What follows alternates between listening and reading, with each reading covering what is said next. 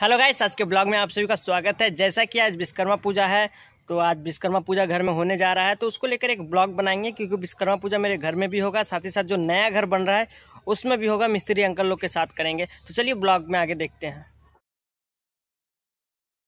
तो गाइस सुबह उठते ही मम्मी पापा ठेला को रंग करने में लग गए हैं। जैसा कि देख सकते हैं, इस ठेला को रंग किया जा रहा है क्योंकि विश्वकर्मा पूजा था और वर्षा होने के कारण पहले से रंग नहीं कर पाए। इसीलिए आज सुबह सुबह कर कर इसको रंग कर रहे हैं, जैसा कि यहाँ पे रंग रखा हुआ है। और गाइस ये देख सकते हैं, यहाँ मेरा सारा सेटअप है।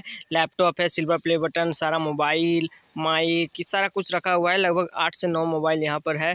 और ये एक छोटू सा खिलौना भी यहाँ पे रखा हुआ। तो गाइस अब हम पहुँच चुके हैं उस घर में जहाँ पे विश्वकर्मा पूजा होने जा रहा है। तो गाइस देख सकते हैं यहाँ पे पूजा कंटिन्यू चल रहा है और ये फल काटा जा रहा है फ़िलहाल। देख सकते हैं बहुत सारा फल आया है और इसको काट काट के सजाया जा रहा है।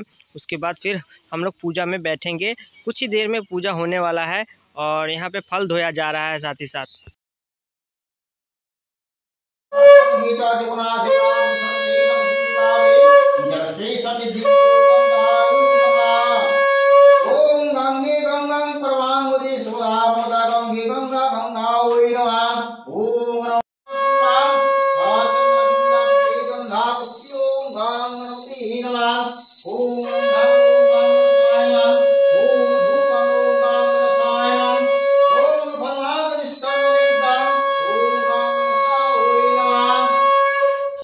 तो गाइस अब आरती का समय है, अब आरती होने जा रहा है।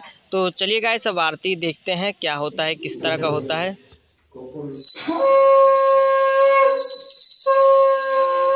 तो गाइस आरती खत्म होने के बाद अब गाड़ी की पूजा के बारी है। यहाँ पे हमारा गाड़ी और मिस्त्री अंकल का गाड़ी का पूजा हो रहा है और ये बाइक का पूजा होने के बाद अब कार के पूजा की तरफ़ चलेंगे तो कार का पूजा भी शुरू हो चुका है गाइस और उसके बाद कार के भीतर में पूजा होगा। कार का पूजा हो जाने के बाद लगभग पूजा सम्पन्न हो गया। इसके बाद हम लोग प्रसाद खाएँगे और प्रसाद खा के अब नेक्स्ट जो वीडियो आएगा वो दूसरे ब्लॉग में आएगा वो आपको बाद में पता चलेगा ठीक है?